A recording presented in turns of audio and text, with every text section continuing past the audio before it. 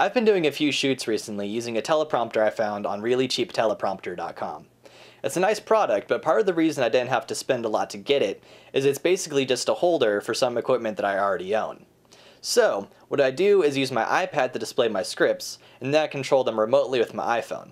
Here's a quick walkthrough on how I do that. The teleprompter app I use is called ProPrompter.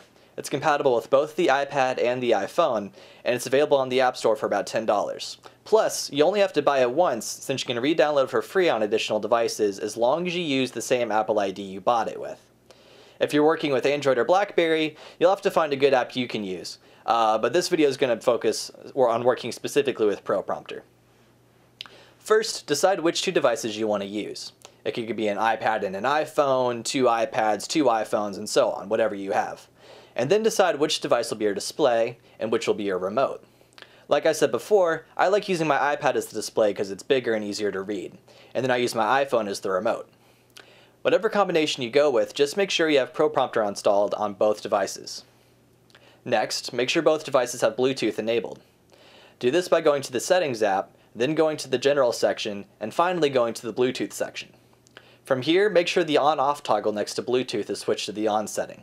When it's enabled, you should see the Bluetooth logo in the top right hand corner of your screen next to the battery power meter. Again, make sure this is enabled on both your devices. When you're ready to go, make sure ProPrompter is open on both devices.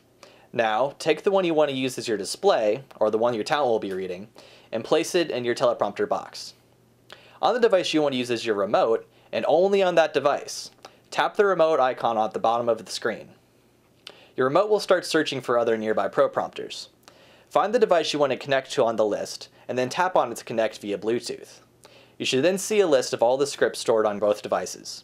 You can access any of them at this point, regardless of whether it's stored on your display or your remote. So tap whichever script you want to run. Your script should show up on both screens and start scrolling, and your display will monitor whatever is happening on your remote. To control the script with your remote, tap the screen once to pause and once again to resume. Swipe upward on the screen to increase the scrolling speed, and swipe downward to slow it down. In both cases, keep in mind that swiping repeatedly will increase or decrease the speed incrementally, so experiment a bit to find out what's most comfortable for your talent. If you want to exit the script, quickly double tap the screen or press the exit button on your remote. As far as getting your script ready to use, you can either type it up directly in ProPrompter or you can prepare a file on your computer and then transfer it to your iPad or iPhone. I personally like doing this via email, it's just quick and easy. And then copy and paste it into ProPrompter. A really helpful feature you'll probably want to take advantage of is navigating with asterisks. If you can add an asterisk at the beginning of key paragraphs in your script, you can navigate between them instantly by tapping the left and right arrows on your remote. This allows you to go back and shoot another take on a particular segment, rather than having to restart the entire script every time your talent makes a mistake. It's really pretty useful. So those are the basics, but keep in mind that this is a very versatile app with a lot of options and features that I'm not going to cover here. So be sure to explore and tweak with all the options until your teleprompter works just the way you want it. Again, that's ProPrompter, one word, available on the iTunes App Store. And this teleprompter is from reallycheapteleprompter.com. I hope this video has been helpful, and good luck with your productions.